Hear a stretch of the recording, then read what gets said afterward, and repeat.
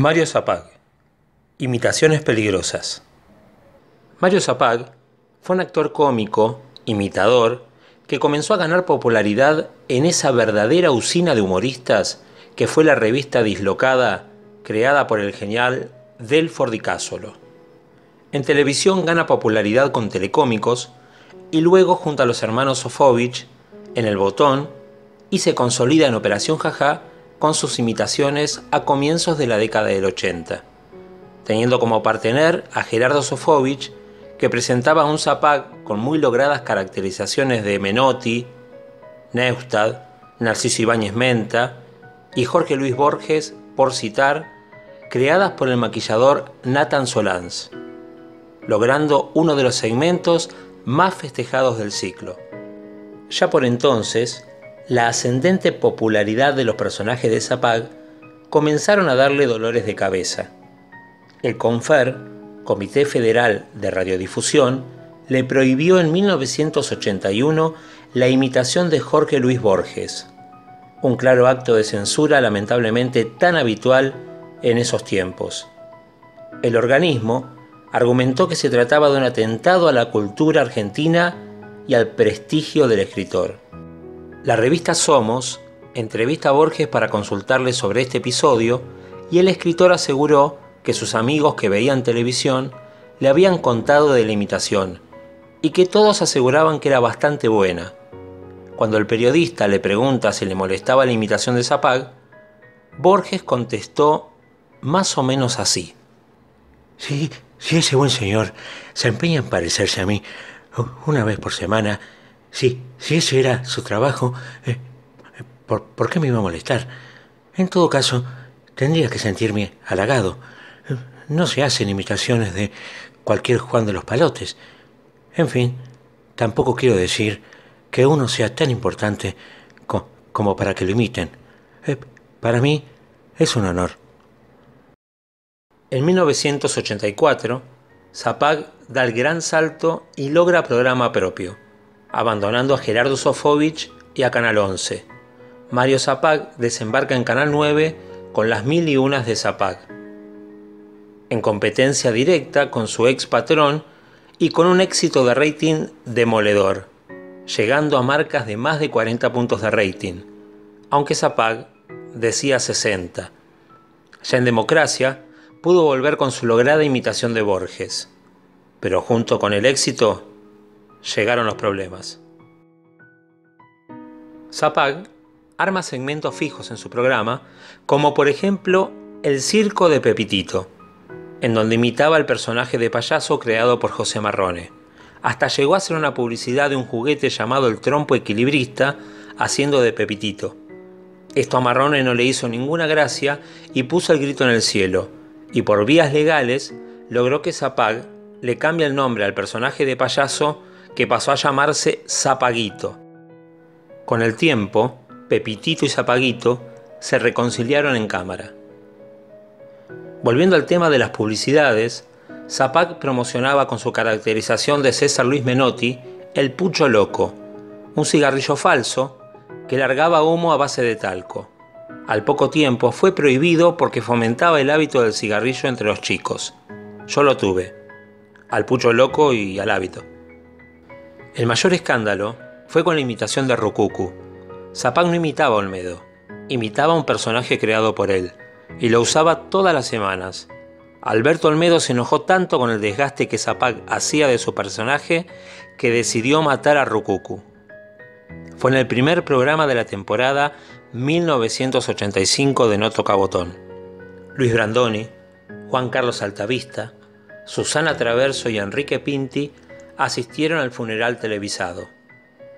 Olmedo se fue sacando cada prenda del personaje y la fue tirando en una hoguera, hasta quedar solo en slip, mientras los invitados se abrazaban entre ellos y lloraban.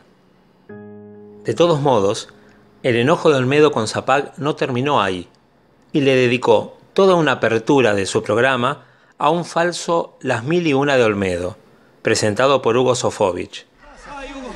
Sofovich, menos mal que llegó, menos mal que llegó. ¿Qué pasa, Julio? ¿Qué estás haciendo hablando en cama? Estoy tratando de, tapar el bache porque son más de las nueve y Rucucu no está. No, es que Rucuco nunca más va a estar. ¿Cómo se llama ese programa nuevo? Las mil y una de Olmedo. Olmedo emuló las imitaciones de Zapag, puntualmente de dos de sus principales caballitos de batalla, el entonces canciller Dante Caputo y el periodista Bernardo Neustadt. ¿Que se presente él mismo? Mi nombre es Bernardo Neustadt, tengo 59 años, soy vegetariano, duermo tres horas por día, juego al tenis. ¿Lo dejamos ahí? Me refiero, por supuesto, a nuestro canciller, el señor licenciado Dante Caputo. Buenas noches, señor licenciado. Buenas noches, amigo periodista. Gracias. Estoy dispuesto a evacuar cualquier tipo de pregunta o que quiera formularme. Bien. A lo largo, a lo alto y a lo alto del país. El 28 de diciembre de 1984, el presidente Raúl Alfonsín convoca una reunión de ministros en la residencia presidencial de Chapadmalal. El destino quiso que la fecha coincidiera con el Día de los Inocentes, y a Mario Zapag, en pleno pico de éxito y tal vez un poco mareado por él mismo, se le ocurrió hacerse pasar por el canciller Dante Caputo. Y hacia allí fue Zapag, en el asiento trasero de un automóvil negro similar a los de la flota presidencial. Pasó el primer control simplemente saludando a la guardia desde su asiento.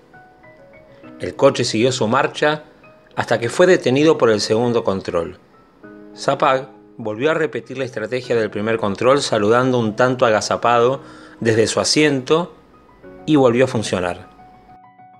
El tercer y último control no fue tan fácilmente engañado y la custodia de Alfonsín descubrió a Mario Zapag. La bromita le costó el trabajo a varios custodios que fueron apartados de sus funciones. El éxito a Mario Zapag le trajo algunas actitudes de divo, y en Canal 9 no todos estaban contentos. Una de sus víctimas fue su maquillador Nathan Solans. Luego de una violenta discusión verbal, Solans abandona a Zapag, y el cambio en las caracterizaciones es notable, pero para peor. Las máscaras se vuelven toscas y mucho menos creíbles. Gerardo Sofovich aprovecha la situación y contrata a Solans, que realiza una máscara de Mario Zapag y se la colocan a un actor que junto a Vicente La Russa, el preso, se paraba detrás del mostrador de polémica en el bar. Vale recordar que Zapag, hasta que dejó a Sofovich, hacía las imitaciones en Operación Jaja y del dueño del bar, Ceronio, en Polémica. A comienzos de Polémica en el bar, el boliche pertenecía a un gallego protagonizado por Alberto Irizar, que dejó el elenco peleado a muerte con Gerardo Sofovich. Desde los inicios del ciclo también estaba como mozo el preso Vicente La Russa. Ahora Ceronio estaba nuevamente detrás del mostrador, con su sombrerito y su moñito, pero no hablaba, porque era una careta. Porcel y Minguito hacían su habitual entrada, lo miraban, miraban al preso, que ponía cara de desentendido, y se creaba un paso de comedia muy divertido, para el público, para el ruso Sofovich, para Nathan Solans, aunque no creo que para Mario Zapag. En 1985, por Canal 11, Jorge Porcel y Gerardo Sofovich hacen Operación Porcel, mezcla de Operación Jaja con algo de nuevo. Seguía la peluquería de Don Mateo, pero la novedad estaba en un sketch que servía de excusa para seguir pegándole a Mario Zapag. Porcel hacía de Mario Zapán, un imitador con rolo puente de representante que iban a ofrecer personajes a la oficina de Sofovich. Porcel llevaba una valejita muy chiquitita, se metía detrás de un biombo y salía caracterizado de los mismos personajes que presentaba Zapag en Canal 9 cada semana. Porcel era muy buen imitador, como contamos en el informe sobre el actor.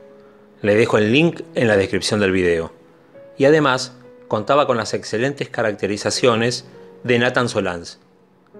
Pero cierta vez Durante una grabación, Sofovich le pidió a Porcel que lo repita porque no le había convencido. El gordo dijo, a mí me gustó, no lo voy a repetir. Comenzaron a discutir, según Sofovich no pasó de ahí, según el diario Crónica, terminaron a las trompadas y en la comisaría. Gerardo Sofovich canceló el ciclo. Y Mario Zapag siguió en lo más alto del rating por un tiempo más. Si te gustó este video, suscríbete al canal, dale click a la campanita, dale like al video y de esta manera me vas a ayudar a que pueda seguir compartiendo contenido.